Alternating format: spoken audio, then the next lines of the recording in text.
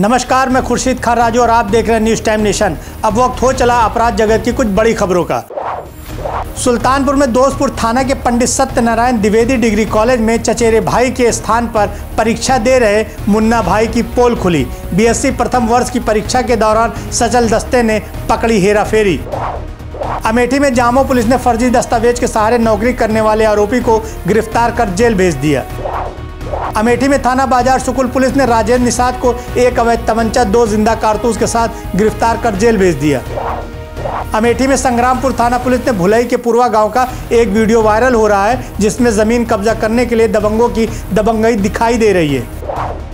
अमेठी में सुकुल बाज़ार थाना के प्राचीन हनुमान मंदिर में चोरों ने चांदी का मुकुट दान पात्र तोड़कर नकदी और इन्वर्टर सहित अन्य सामान चोरी करके फरार हो गए। फ़िलहाल मंदिर के पुजारी की सूचना पर पुलिस जाँच में जुट गई।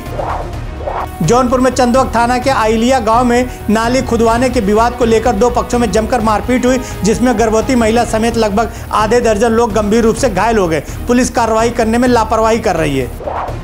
बरेली में 20 दिन से गायब लड़की को बरामद करने के लिए खजूरिया संपत गढ़ी के साधु योगी सरोज नाथ ने मीरगंज थाने के घेराव किया। उन्होंने पुलिस प्रशासन से जल्द से जल्द गायब लड़की को पता लगाने के लिए मांग की।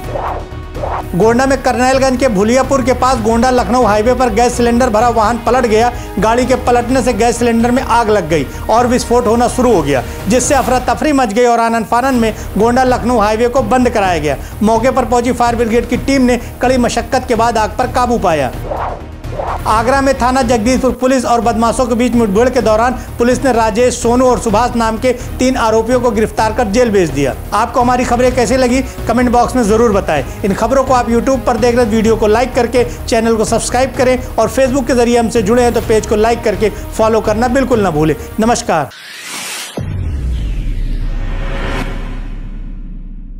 राहत सेवा संस्थान, सर्व मानव अधिकार।